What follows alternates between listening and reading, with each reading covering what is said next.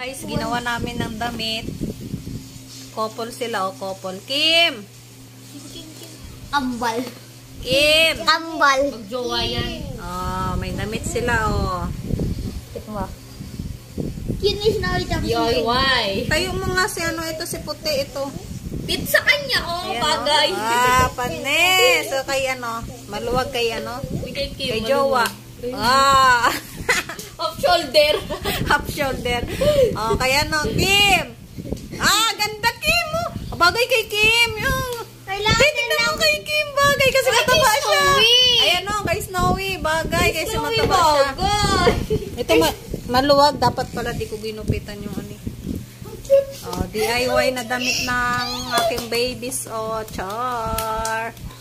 Ito naman. Alam niyo ba kung saan ko kinuha yan, guys? Wen, wen. Sa ukay-ukay lang yan binili ko tapos nag-DIY pa. Ciao. Dito guys, yan. Diyan namin kinuha dito sa may pakpak. Diyan, tapos ito, gagawin, damit ng baby yan. To gagawin ko pang damit ni Snowy. Gaganyanin ko siya. Oh, tapos meron pa dong isa. Jammets. Ah, King. diba? Chor! Kim! Snowy! Bagay kay ano. Bagay kay ano? Bagay kay Snowy kasi puti siya. Tapos yung design ano. Kaya pur mo. Half shoulder. Ah, dug. oh, Ay, papampam. Hey, tantan.